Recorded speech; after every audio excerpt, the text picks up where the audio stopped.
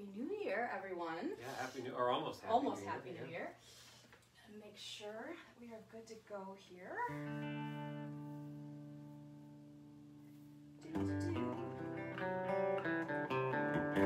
Yes, okay, that is the proper orientation and everything looks good. Nice. I will do my best to monitor um, commentary as people log on. Um, hi, welcome back to our home studio for our special um, end of 2020 show, Show. Uh, this is my. We were talking about this. This is my first ever New Year's Eve show. which is amazing given the number of years that you've played, like Well, I, so many different bands. you know, when I was playing in cover bands in college, we were on a quarter system, so we were, you know, well, I guess no college really goes back on New Year's Eve, but like we did go, we would go back. yeah, you guys were back really 2nd, early. We went back early, but but no, we never we never played, and then I always played in original bands, and nobody wants nobody wants original bands on a, on a New Year's Eve. Well, that was going to be my my uh, my joke to uh, to everyone who's watching. You know, it's like most shows. You know, we're happy when you guys engage with us. You know, and, and are are you know attentive. Um, but I was going to just joke and say like. Pretend like you're out at a bar and we're just the band in the background. So like it, you know, pretend it's New Year's Eve, any other normal year, and you would not be paying attention to us at all. So let us be background noise. Well, we were just talking about this. Like, like I, I love Brian Eno, you know, as most people that know me No. know. But but his whole thing about I watched that interview with uh, Jules. Was it Jools Holland? Who's the who's the guy that has the show? yeah, Jules? in the UK, yeah. Yeah. And he's like, oh, so you came up with this idea of just being in the background, making music that people didn't really have to pay attention to. And I said to you, it's clear that Eno didn't do a lot of bar gigs. Yeah, it was never an unsuccessful you know, band. Like, Then you've done shows where you were the background music. You don't need to create a whole genre No. to, to do that. But I'm glad you did. I like making music, but it's. but no, that was that's a very good point. It's like, oh, Brian, you know, you're you're revealing more than you realize in in uh, describing uh, your uh, your ambient music that way. um, so we got so we we have uh, done mostly uh, cover tunes tonight, and I think we've made them mostly happy. Right? Well, there's at least three about drugs, right? there's there's three by songs about drugs. tally. Yeah, there's three. Yeah, yeah, there is. What are the other themes that we'll cover tonight in the songs? Um, I think these are a lot of nasty songs. Like, We are- we not are- and like yes. not even just the drug songs are nasty. Like, We're gonna play the naughtiest song I have ever had to play, which is ever in Saying 30 years of playing. yeah. And, and I play, did my first gig in the winter of '93. So in all those years, I've never played a song as naughty as the one that we'll play at the very end of this. so we'll leave you in suspense Yeah, until we'll- we uh, you think we get that far. But it's one that why are we playing it? Two reasons. We'll talk about them more later. Mainly because your dad used to play it in his band. on New Year's looping Eve. back to you know who plays on New Year's Eve. My dad, I mean, for the first you know seven eight years of my life, um, just you know New Year's Eve, my dad was never home because he was gigging. He was always playing a show. Um, and in fact, I have um, up on Bandcamp. If you just go to terryfelus.bandcamp.com, you'll see there's a couple New Year, at least one New Year's Eve gig in there, and so it's really fun to like hear them count down, you know, to Happy New Year 1983, Yeah. you know, and like, um, And we're doing one of the songs so we're doing in one of the songs that they did on that New Year's Eve 82, 83. Um, We won't say what it is, but it is the na- naughtiest song I've ever play. it's naughty. I'm which not singing. and for it. that reason, like I'm singing it because Ryan's Yeah. like, I can't even. I, I can't even. I've sung songs much. I've sung songs I wrote that were maybe whatever, um, not naughty, but you know, whatever. and you are a devotee of Lou Reed. I mean, Right. we're doing some Velvets we're, in the we're set too, tonight, yeah. and and and Um, for you know, Lou is just all full of drugs and. and We're doing a, um, we're doing a Keith Richards song, which we'll talk about more later. So Yeah. I mean that, that, that- it's but it's no nothing to compare to the one you picked. So let's see who's who we got on here. Gene says he's definitely acting like he's at a bar. He's drinking right now. So Oh glad. well, so Gene. Well, make sure tell us our, if our levels are bad. This is what we would- we would tell Gene at a Yeah, gig. yeah. You know, like at the red line tap. Like let us know. If the sound is too blown out, if, if the bass is too Yeah. woofy, we were having trouble balancing it earlier. I like, think we yeah, it. put a message up and we'll adjust. yeah, we'll adjust it. But, and so the first Thanks song. for being our sound guy. Yeah, we're only gonna we're only gonna do uh, a few of our own. We have a brand new song that's only like a week and a half old. Right, just wrote it after his semester ended. As soon as the semester was over, so that one we're going to debut, uh, give it a sh- run. We haven't recorded it yet. And this first one, We, I think we did last time. I think we did it at the Halloween show, maybe. I don't remember. Uh, yeah, know. either Halloween or September. Yeah, we've, we've yeah. done it recently. And it's an older song. It's actually over 20 years old. I wrote this, uh, I think I told this before when we did it, but I'll mention it again. This is a song about uh, New York. Uh, it is a song, it, Gem Spa has mentioned, they, they closed this year. Yeah, unfortunately. A lot of other places, the little candy shop, cigarette shop uh, in, uh, on St. Mark's. And um, so this is what the song's about, partly, and it's it's old. I think it's I think I wrote it in 1999. My, my friend Rick uh, Connolly, who I was in a band with in college, um, wrote the, the music for the, uh, uh, the the bridge, um, and it's one that I've always liked. But We've actually I've never really recorded it. It was sort of written Because we played it together. I mean, you, I, I learned it in the early days of Yeah. playing with our first band, Tiny Magnets. We never played it a lot though. I don't. Yeah, we played it occasionally, but yeah, we never, we never recorded it. Yeah. So, uh, so we're going to start with this one. It, it, it is the part of the set where the next few songs will all be in the key of D. So if you want to play along at home, if you have a harmonica, if you have guitar you want to play along, there's not that many chords in any of these songs, so you're welcome to play along if you want to. And they're all, these first three will all be in D. This one's a, a Brian Cremins original called "Brand New Shirt."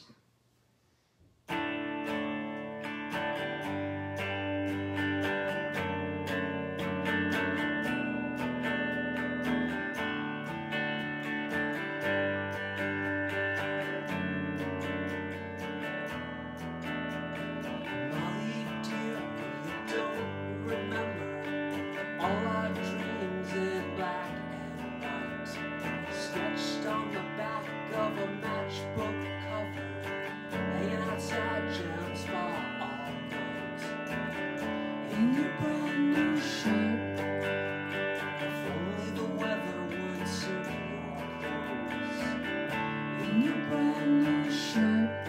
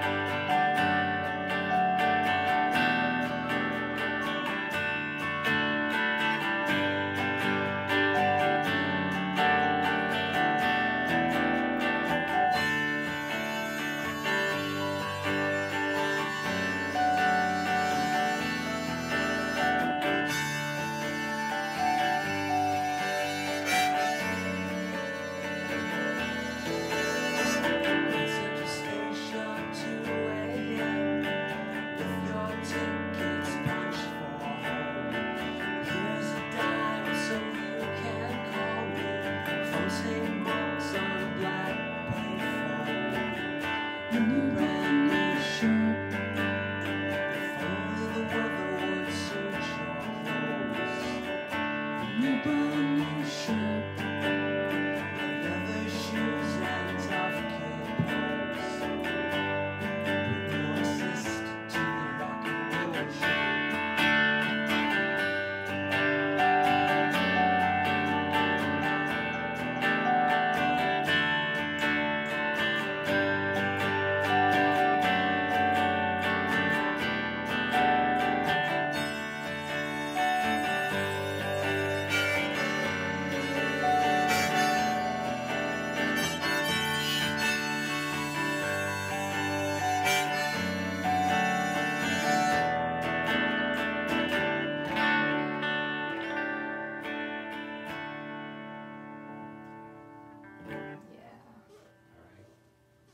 See if Gene says the levels are okay. Our sound man, our virtual sound man. I think we're looking good so far. Okay, good, good. So now we're gonna do. This is my dad's favorite Bob Dylan song, also in the key of D. It's actually in C, I think, on the recording. Um, and uh, I've, I've, we've never played it before this, right? I've never played any Dylan songs because well, we did it the last show. We Really? did, Oh, yeah, that's right. That's we right. did. I think of that as the band, but that was. Uh, so yeah, this is my one of my dad's favorite. He's a big fan of Boots of Spanish Leather, Girl from the North Country, and and a lot of other ones. But this one, and what's the other? What's the recent one that he likes? which uh, is yeah, which uh, which album? Things have changed. Oh yeah, yeah, yeah, yeah. Which is great. I used to care, but things have things changed. changed. Um, but this one is from my probably my favorite album. I didn't say. You I said it was like an early formative musical. I think it's my favorite album of all time. Oh it sounds God. like a Facebook post, but it's my favorite album of That's all the reason time. you got off Facebook. Yes, yes. To save yourself from Oh, that's those kind another- of statements. Maybe later on we'll tell that story about the about the Nick Cave The Lyre of Orpheus. the, the, the Nick Cave incident on Facebook. Um, people will be wondering the whole set, like, what's what happened with Nick Cave? Yeah, what what, did? Nick Cave say, It man? Yeah, it wasn't it, didn't, it wasn't Nick Cave that kicked me off of Facebook, but um, better story if it were. it- yeah. Um, so yeah, this is "She Belongs to Me." It's from "Bringing It All Back Home," which I think is my favorite album. Half of it's electric and kind of noisy, half of it's acoustic. It's it's the it's a perfect album. It's the best Bob Dylan record. It's the best record of all time. Oh my god, he's throwing it down. And this is also the debut of my brand new uh, Yamaha uh, Tiny Red um, Uh, Christmas present. for Christmas present. Yeah. Yeah. Matches Brian's guitar. Uh, it sounds amazing. It's got like the coolest organ sounds that you'll be hearing. Uh, and lots of other gritty, nasty, cool sounding uh, vintage, vintage organ So stops. we'll be. What organ stop are you using on it? Um, Hammond? for for Dylan, you gotta go straight Hammond. Hammond, You know, okay. you're doing doing this in honor of like Garth, you know, from the band, like like he would do it. So, um, yeah, we'll try this. This is "She Belongs to Me." So this goes out to Brian's dad, Bill. So whenever you watch this, hope you like it. She's got everything she needs.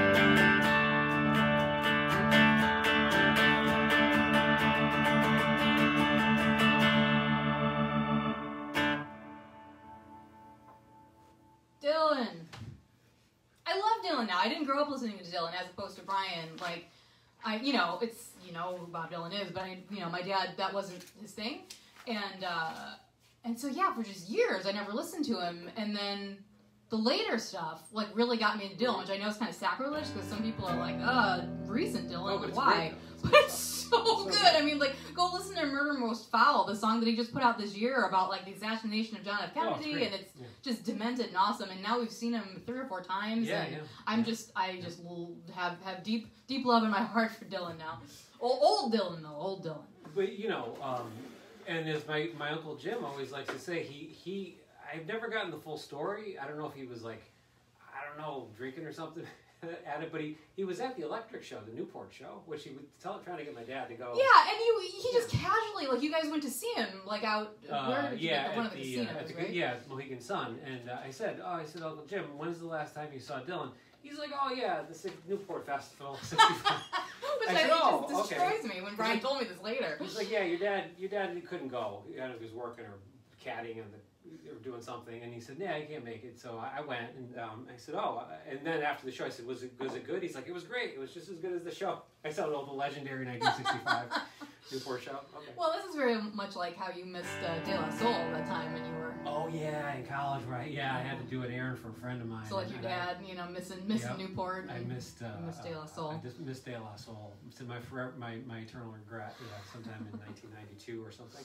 Um, all right, so uh, again, this song is indeed. This one's for my sister. This is Yeah, we moved from you know these are all family songs. You know, we're getting the songs that my dad played in his Yep. band later on, but for now we're doing this these for uh, Brian's family. So moving to his dad to his sister, My also sister named Allison. and my mom. They both love James Taylor. My sister especially loves James Taylor. And being so, up in Connecticut, it's kind of a whole Northeast thing. Uh, so this one, uh, we promised my sister uh, we're going to do a James Taylor song. We didn't tell her which one, so this will be a surprise. Yeah, this is our surprise for when she sees it. Um, for those that don't know, my sister's name is also Allison, but it's one L. One L. That's how people- that's how we're distinguished. It's very cute when uh, Brian's dad sends sends emails, you know, on behalf of the whole family. It's it's you know, Bill, Nancy, Brian, Allison, and Allison. You know, Yeah. it's very nice to be included for me.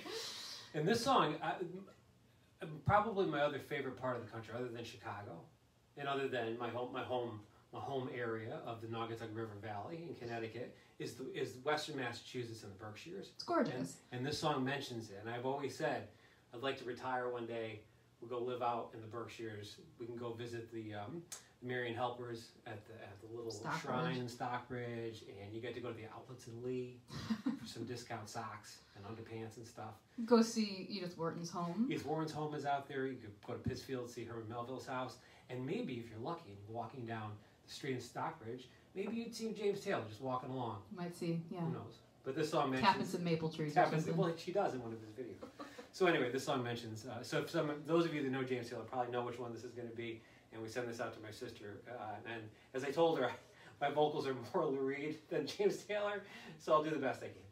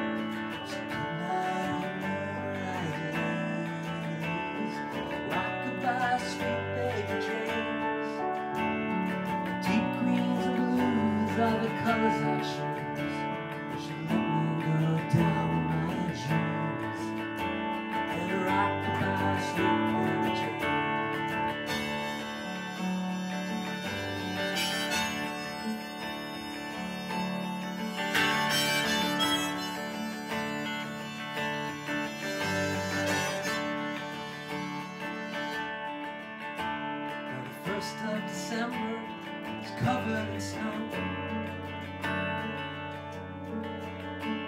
So was the turnpike from Stockbridge to Boston. Berkshire seemed dreamlike on account of that frosting. Ten miles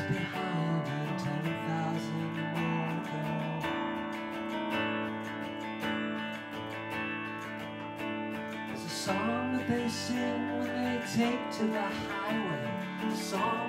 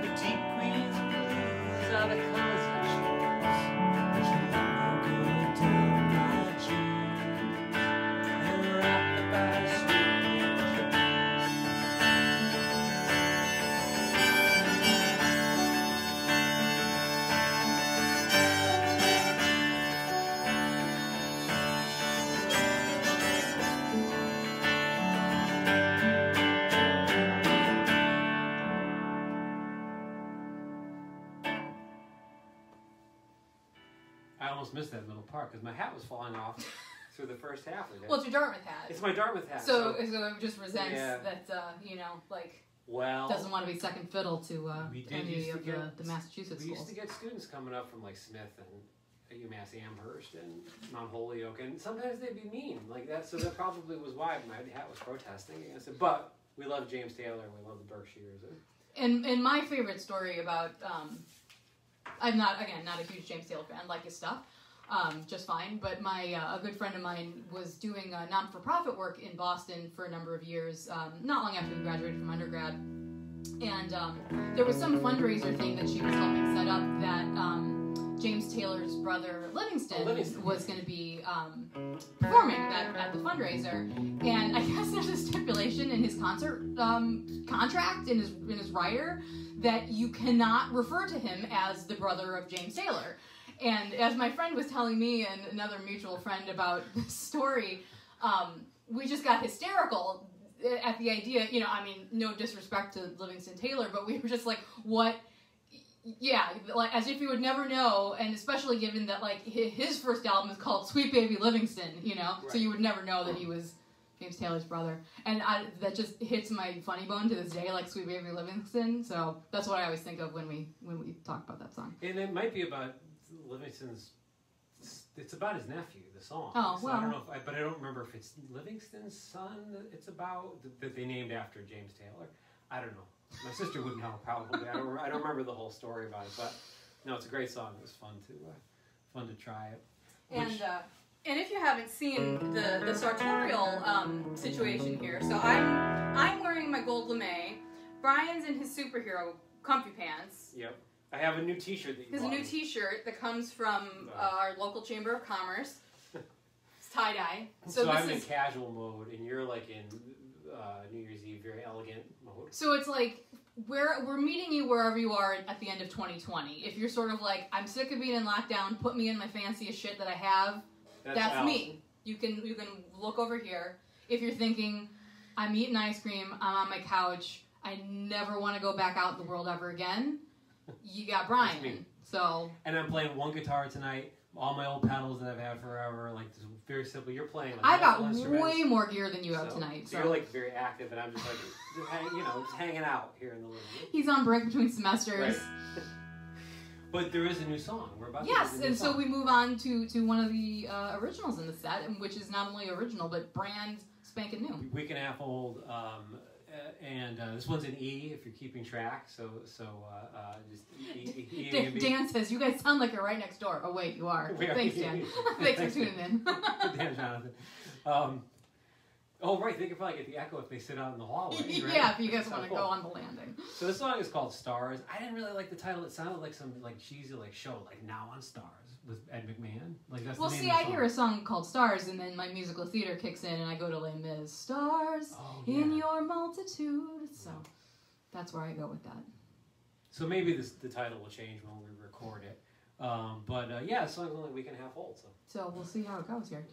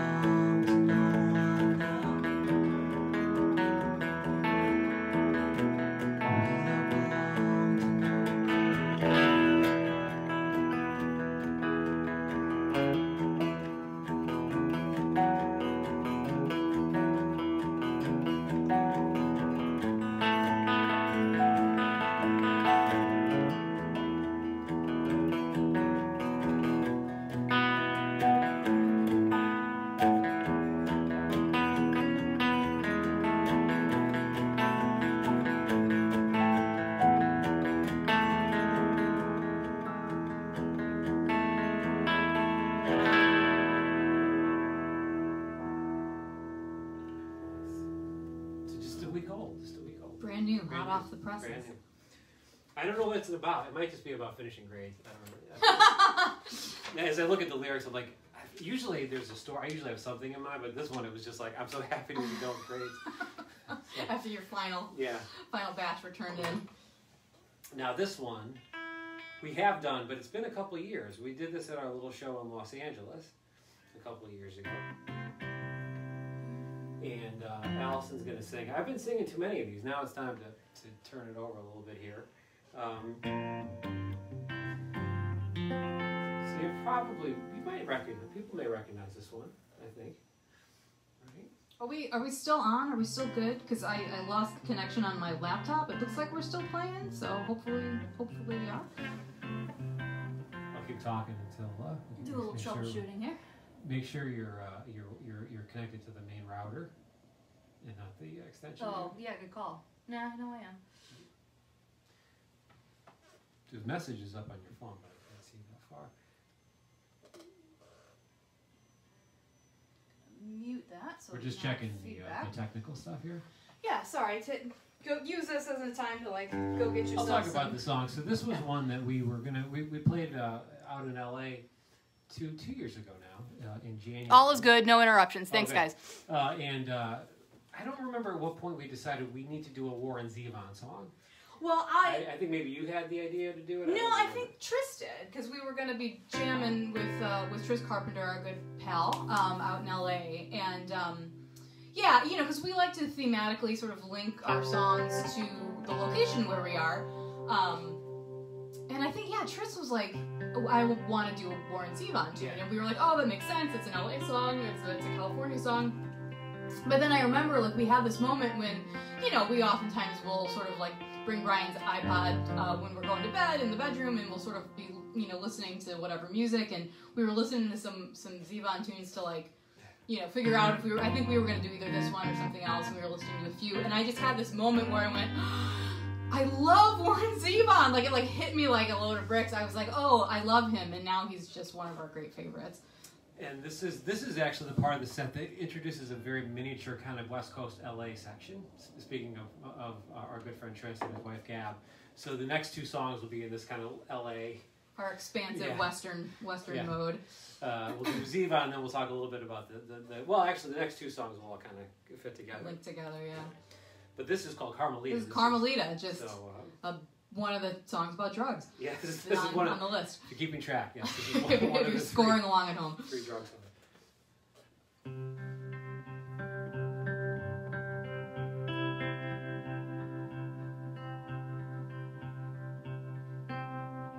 I hear mariachi static on my radio And the tubes that glow in the dark I'm there with her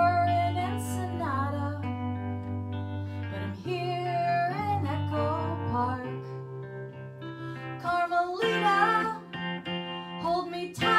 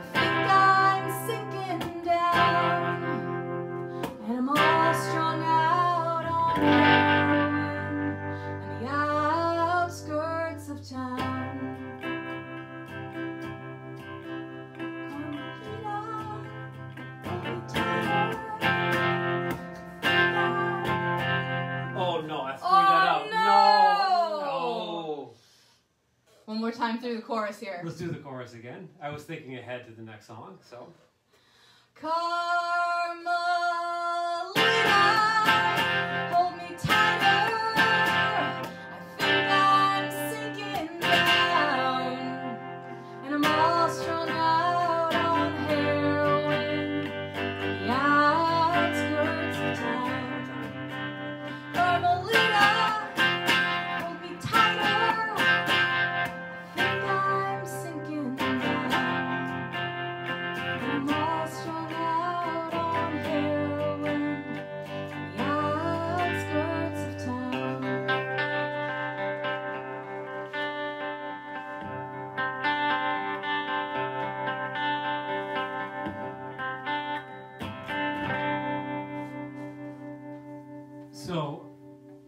excited about this next song, I forgot about the end of that one. Um, I apologize to Warren Zevon and to Los Angeles for messing that one up.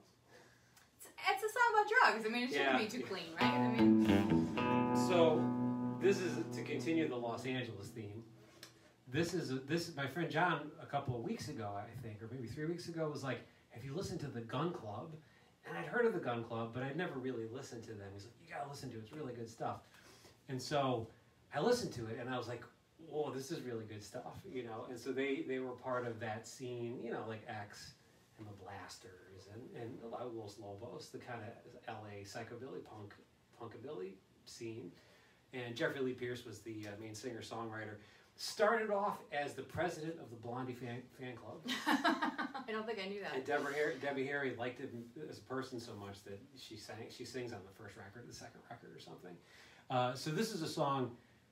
Well, their first record is called "The Fire of Love," but this song is not on it. It's Oh, on that's the, funny. I didn't It's know on. Miami, which I, I, I like a lot. I think it's the second record. I'm, I'm, I'm getting probably my chronology thrown off.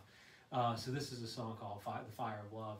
Uh, again, from the great LA band, The Gun Club, and Allison, as you probably notice, and this is also why I was I was excited. I'm like, oh, she's gonna go. walk over the drum She's gonna do the thing. um, uh, is going to play drums on this.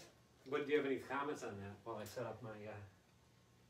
Well, uh, no. I mean, I'm not a drummer. I don't. I don't really play drums. Um, but it, anytime I do play a drum, people lose their minds. They lose their shit. Like when we play. Um, when we played for um, William Pacholsky's uh, awesome, awesome variety night, uh, the one that got away a couple years back. Um, I played the big drum solo in "The Origin of Love," the song from Hedwig and the Angry Inch, and people just went berserk. And then whenever we do our music for Codex performance um, with Gene Canberg, yeah. for uh, for the Codex performances, I play a drum in there, and people go berserk. So hopefully, you'll all be going berserk. Go berserk in your living room. in your living Yeah. room. So this is called the Fire Love.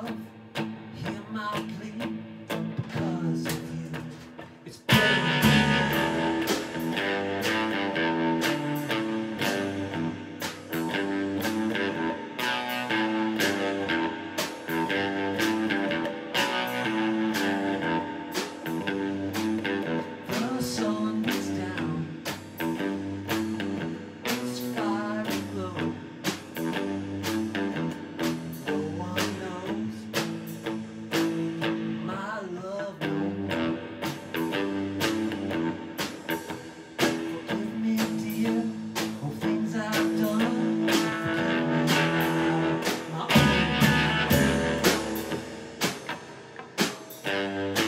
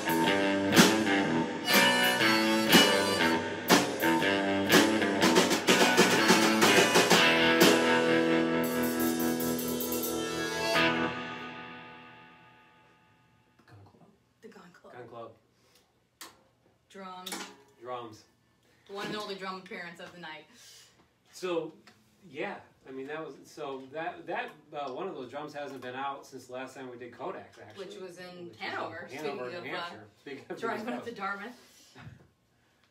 So now the next song we put here because well this is another song for my sister. She's a big U2 fan as I am, and uh, her favorite U2 record is The Unforgettable Fire, which we, we at some point must have to learn something from that. Yeah. This is um, this is from the Joshua Tree, and uh, Alice is going to sing this. Anything you want to say about this? Well, you know, we've done this before, Yeah, and um, it always works. It's one of those songs where it's like, why would you not do it? It's it works, and uh, and it works even better now that Brian. There's a, there's a. They say there was a secret chord that David played and he pleased the Lord, and that chord turns out to be a C major nine. Yes, which I didn't know it was in the song. Um, and uh, you know, I'm gonna I'm gonna take a line from Bono, so any other U2 fans will know this. But um, Kurt Elling stole this song from U2, Oh. and we're stealing it back. We're stealing it back. Uh, yes, Kurt Elling knows a version of this. For any any U2 fans, if you know what record that is from that I just quoted, then you know I'll buy you a beer when pandemic we're all over. together again. Uh, but, No, and I, I love Kurt Elling. I love Kurt Elling so much. Kurt Elling was really a formative um, thing guy performer for me. Like when I first moved to Chicago, like I sort of was taking jazz vocal lessons with Spider Saloff and some of the other um, people in the class were like, "Come on up to the Green Mill," and I, you know, I think I'd been to the Green Mill like once before, you know, when I was younger and out of college and started going there when Kurt Elling was in residency, and so I would just be there on like horrible nights of horrible weather, and it was just nice to be there sit at the bar and have a bourbon and be in your 20s and feel like it was the coolest thing you'd ever done.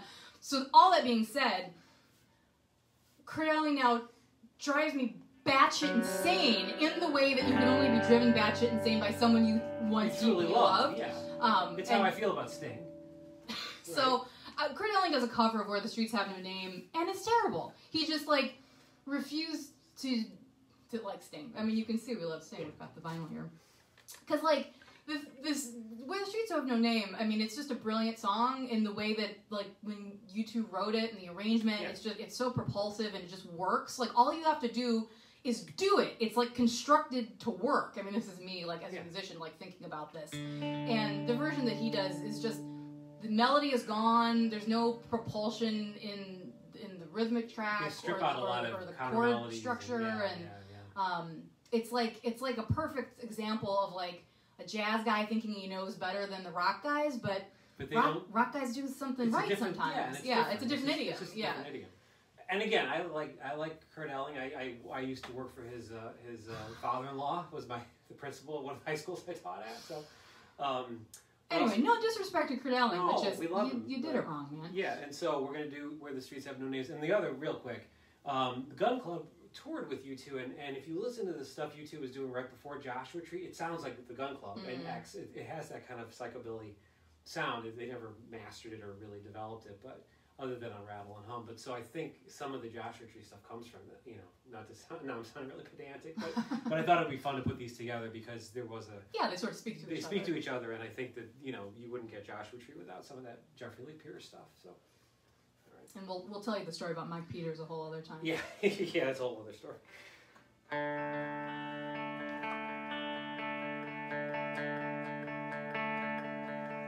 I wanna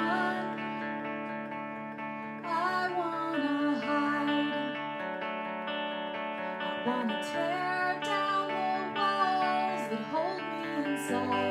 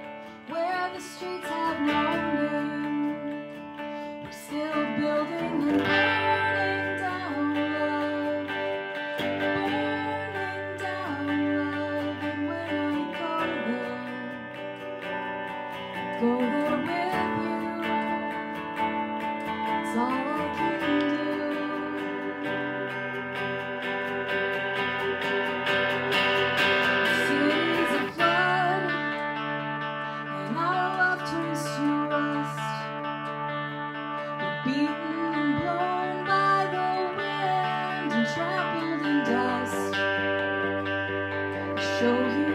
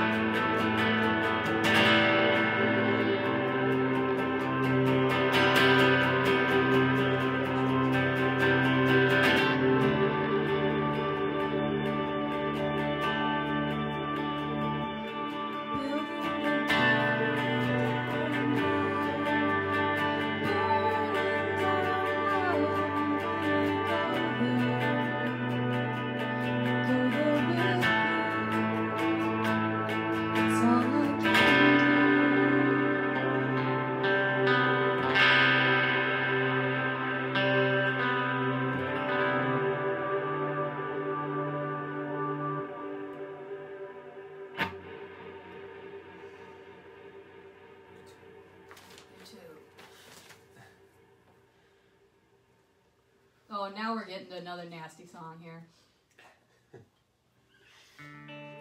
This one, um,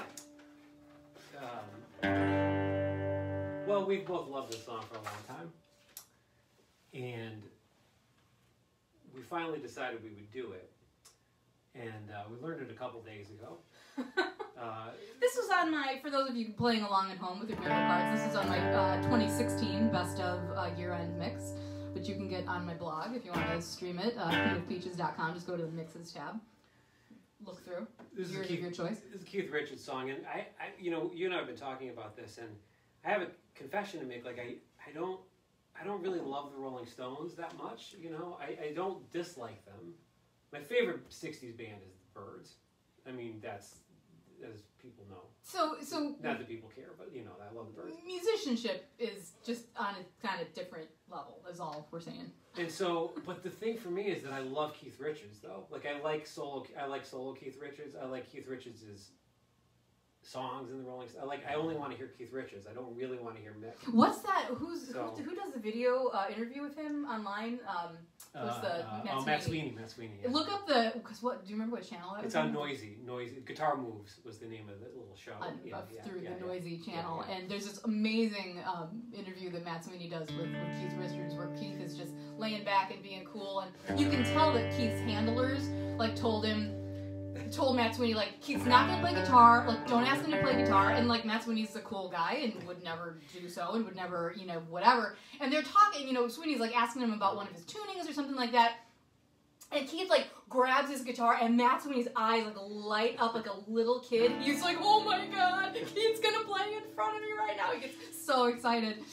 And And Keith like shows him whatever little figure he was like talking about. yeah, and so uh, this So is Keith's cool. We're cool with Keith. I love Keith, and I don't dislike the Stones, but I, I'm I'm still trying to reckon with my my in, my ambivalence about You've also Mick. been you've also been scarred by playing Stones covers by, with people with people who get a little doctrinaire get a little, it. yes, yes, Yes, you, I've had that happen. Why are you not playing that 12 string part on the Jumpin' Jack Flash? Well, buy me a 12 string electric, and I'll play that part for you. for this, you know, three song for uh, gig. yeah cover band gig. Um, so anyway, this is from his most Keith's most recent solo record, Cross-eyed Heart, from a few years ago. Which you may, which you may have seen uh, the burned CD copy of in that terrible Johnny Depp Oh, photo, no, yeah. where it's like the photo of Johnny Yeah. Depp's table with like the cigarettes and the coke and the and the jack, and he's got a burned Keith Richards CD, and Yeah. it's, it's from this album. I was disturbed by that, and the, the song is called uh, "Robbed Blind."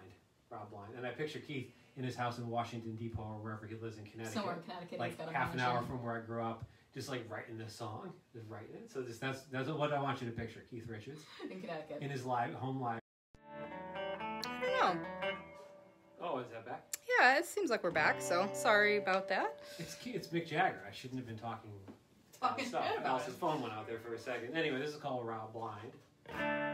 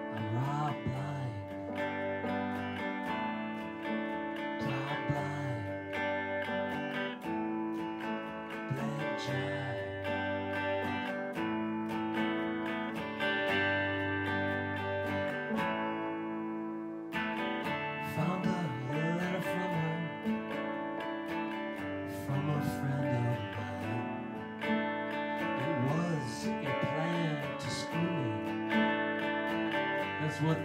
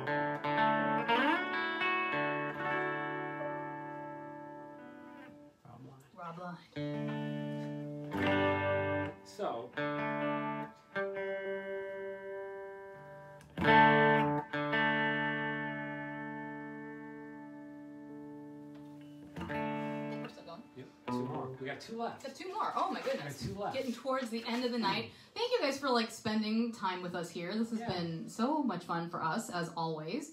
Um, and for anyone who has to duck out or couldn't, or, you know, popped in late, um, these always go up on YouTube. I'm going to even try my best to have it up tonight so that we can send some uh, little New Year's fun to um, people who may not be on Facebook uh, or not weren't able to tune in live. Yeah. Um, and and the, the live recording will stay up on my Facebook as well, but it'll also be on YouTube uh, for future reference. These last two are fun. These are fun songs. We wanted to do fun songs because it was a tough year, and, and uh, we wanted to do a couple uh, last ones here that uh, that were fun. We're, we're, we're heading up to the one um, that Allison's dad dad's band used to do back in '83. That's going to be the last song. We're going to end with that one. Oh, we are? Are, are we going to? Oh no! I thought we were playing it oh, now. Oh, I'm sorry. it's a good thing I said that because I wouldn't have been ready to play that. Okay. So yeah, um, this I just remember this song. Um, my dad's band did a killer version of this. Donnie Graves on drums, um, Ed Byline. I don't know if Ed or Don, if either of you guys are watching this tonight. Uh, we're gonna do Abracadabra. This was one of the first singles I ever bought. On the main street in Watertown, Connecticut, we had a little record store, and, and uh, my mom took me, and I got I got Abracadabra, and I got um, "Hurt So Good" by John Cougar. So you're you you were like heading towards Indiana, even even Right. at that nascent time. But this is the one I mentioned before. This is the the rudest song I think I've ever done. The lyrics in the song are pretty pretty raunchy. I didn't realize how raunchy they were, and I I had and but luckily I'm, I uh, uh, um, I didn't know that when I was a kid. You know. Yeah, it's it's filthy. It's just a filthy, filthy song, and we thought, you know, Why not? why would we not do it? Yeah. Uh, so yeah, going out to the memory of the Terry Felus trio and the many, many uh, New Year's Eves um, when they would be playing this song and people would be getting schnockered and just dancing their asses off in uh, Northwest Indiana. Um, all right. Right? Yep. Two, three, four.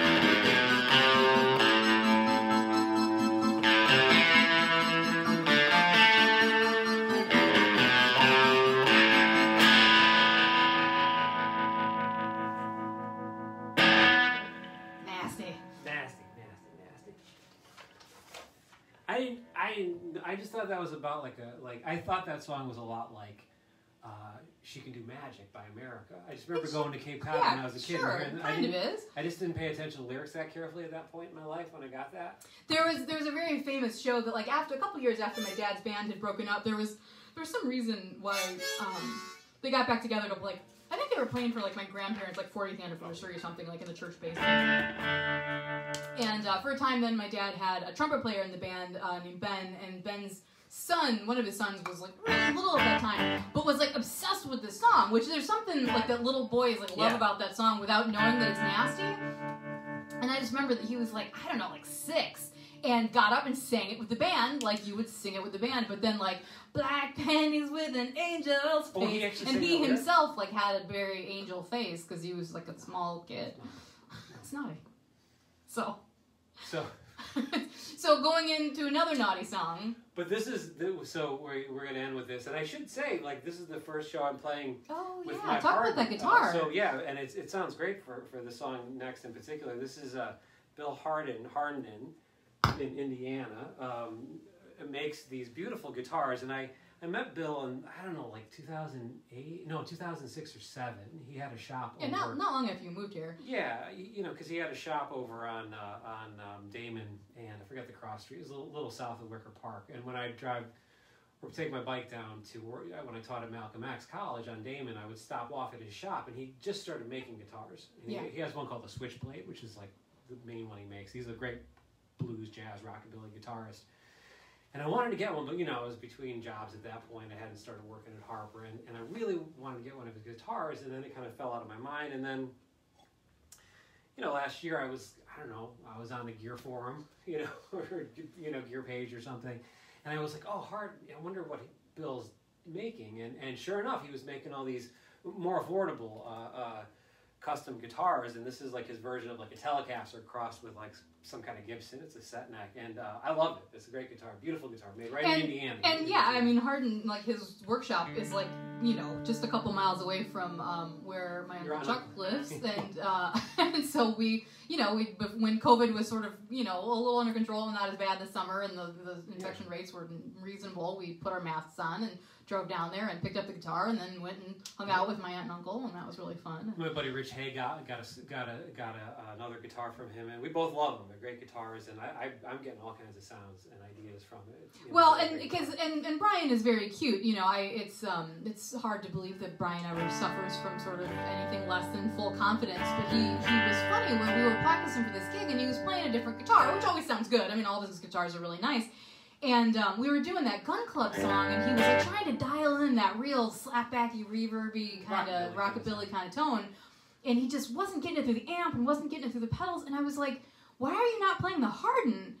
And he was kind of like, "Oh, I don't know if I know how to play it." And I was like, "Just get the Harden out." I get intimidated. Then I then we took it out. We and I just use it for everything as I have. and it was just like as soon as he turned, it was no dialing in the tone. It was just instantly ready to, to rock. So So yeah, if you're in the market for a, a, a nice guitar, Bill makes them really affordable down in uh, Hammond, Indiana. Yeah, you know, this, check this, 'em out. this one's called the Esmeralda, and uh, I love it. And on YouTube, there's like really really cool footage of Joanna Connor just like oh playing one of them, and it just sounds like this is why I was afraid to play Joanna Connor is like one of the most amazing guitar players I have ever seen. she's just phenomenal. Saw her live with my buddy Tris, who we mentioned earlier, uh, in uh, uh, uh, in Worcester, Massachusetts, in like '96, and it took my head off. I mean, yeah, you said it oh was my like as loud as like It was as loud as Bob Mould, or Yeah. it was like loud, or Mission of Burma. I mean, it was that loud, and it was. Oh yeah, well, that's why I was afraid because Oh, Joanna, the kitty's the emerging. kitty's emerging. The kitty's emerging for the final final set for the final sh- uh, song. So this song is called "What's Going On," "What Goes On" by the Velvet Underground. Velvet from Underground. the third self-titled record. We hope you enjoy it. Uh, and Feel uh, like it's a good good way to send off uh, the rest of your Yeah. New Year's Eve. yeah. Here we go.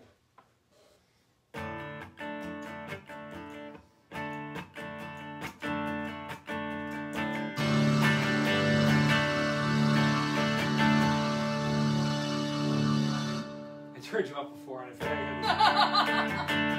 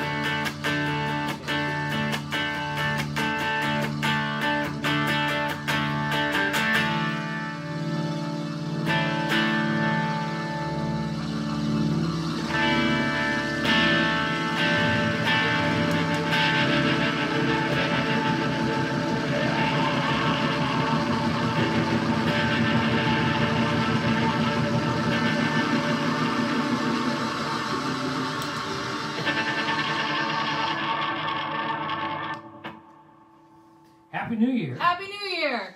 Happy New Year!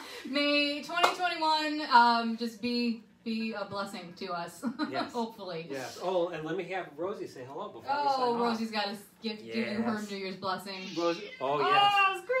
Rosie says hello. screaming Well, I'll put it closer to the camera. Rosie wishes everyone a happy new year. She just woke up from her nap underneath the, the rock that was happening there. So we will This is here. why I think we think she's a little deaf sometimes. Is she gets she's Yeah. very approximate to lots. Of I probably made her deaf. It's probably my Well, fault. you know, I don't. I don't think it's your fault, but you know. Happy New Year. Happy New Year. Have an amazing uh, rest of your night and blessings to one and all for 2021. Yep.